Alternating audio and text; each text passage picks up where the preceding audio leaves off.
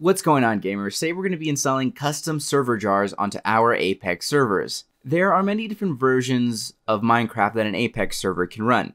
Each one of these uses custom jar files in order to launch the game properly. Our game panel has access to many of these jars. However, you may find that the version you're looking for isn't listed. Typical custom jars that you might want to install include Taco Spigot, Bungee Cord, Waterfall, Spigot, Paper Spigot, or other custom versions. We're going to guide you through the process on how to install a custom jar file into your server. And the first step, of course, when uploading your custom server jar is stopping your server. This is, of course, when changing any of your server's files, the first step always. Once you've done that, you can scroll down to the jar selection part of the page and click on the jar file selection. From here, you can either scroll with your mouse wheel or type CUST and make sure that you select the custom server jar.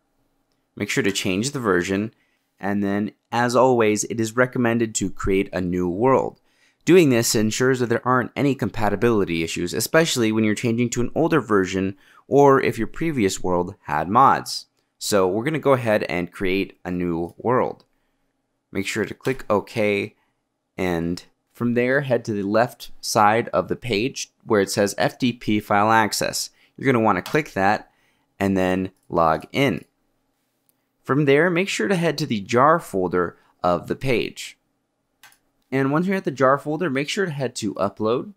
For me, I have my Forge jar right here. My only issue is that it cannot be uploaded as Forge, or else we're going to get an error saying that it can't find the custom server jar. So what we're going to want to do is go ahead, right click it, and then rename it to CUSTOM, and then hit enter to make sure that the name change is final.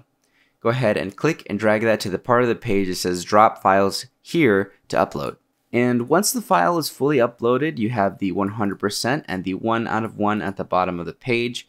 Make sure to click on the name of your server at the top to get to the main Multicraft page. And once you've done that, you can go ahead and hit restart or start to launch your server back up.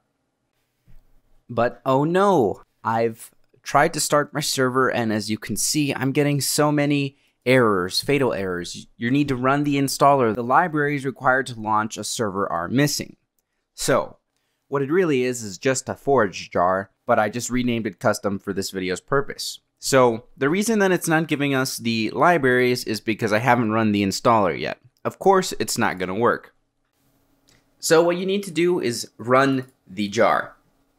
Because I didn't upload the server version or the client version. I actually uploaded the launcher, so of course it's not going to have the necessary files. And then make a folder for the Forge files. Make sure that the directory is headed to that specific folder and hit OK. Once that's done exporting, we're going to want to go ahead and jump into the folder and look for the Forge jar. From here, we're going to go ahead and rename it to CUSTOM, and then hit enter to finalize it. Once you've renamed it, you're going to want to open up FileZilla. And once you've opened up FileZilla, make sure to log in to your server. And once you've logged in, go ahead and double click on the jar folder. As you can see, our custom jar is still there. We're going to want to go ahead and highlight that, right click it, and then delete it. This is because we're going to be uploading the one that we have in this folder. Go ahead and highlight this and highlight the libraries.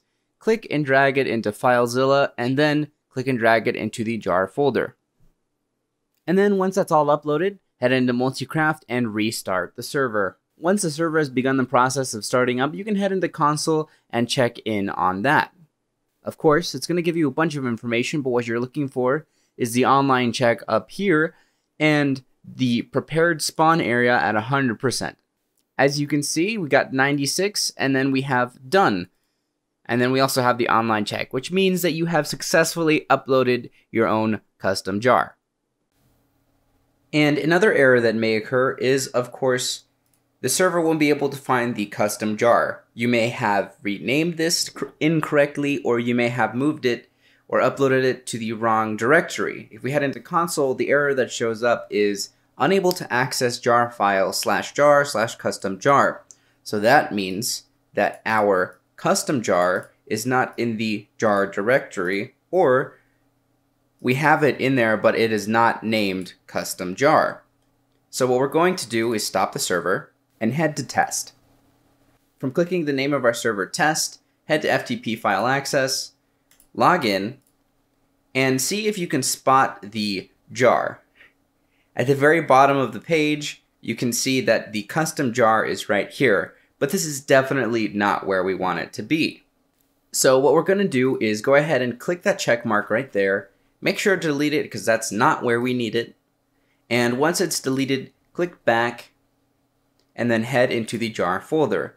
And same thing as anytime you upload a jar, click upload, open up the folder where you have your jar, and we have ours right here, but it's named custom 256. That's not the correct name for custom jars anymore. So what we're going to do is right click it, hit rename, and then just click the right arrow key, and then delete the 256 and hit enter, just so that the jar is named custom.